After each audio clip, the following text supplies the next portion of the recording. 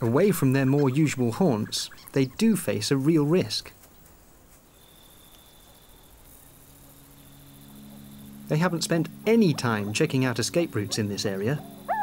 So, when a real threat turns up in the shape of a goshawk, the dash for cover is going to be in uncharted territory.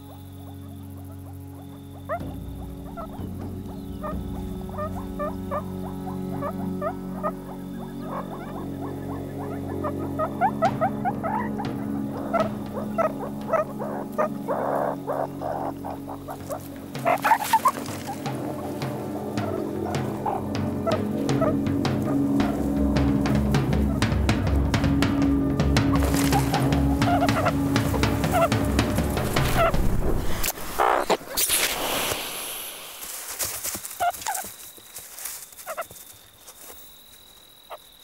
It was Arnie who was first into the hole, and he stumbled into real trouble in the darkness.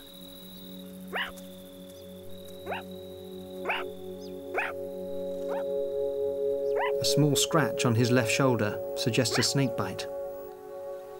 He almost certainly ran straight into a puff adder just inside the burrow entrance. A bite from this snake could kill a man. Agonizing to watch as he struggles to keep up with the rest of the family, but there really is nothing that can be done other than stay nearby and watch over him.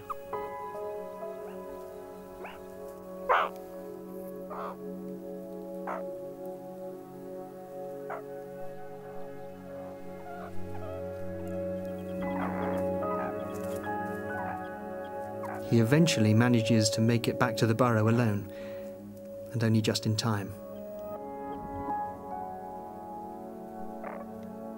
He falls unconscious.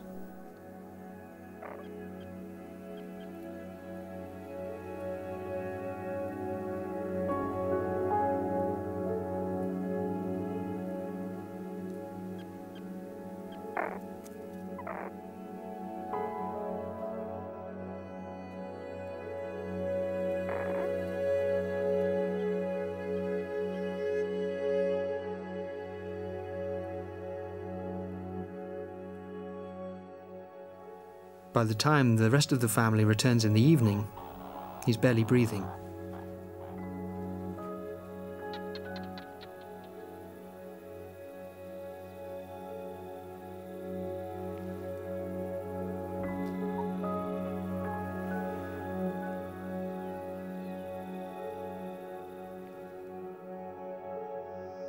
He holds on to life through the night and the whole of the next day. Then, on the third morning after the bite, there is a miraculous change.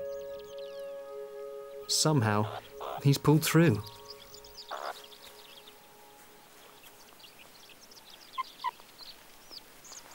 I find it absolutely incredible that an animal this size can withstand a snake bite, be close to death for the best part of two days, and now you can hardly tell him apart from the rest of the family.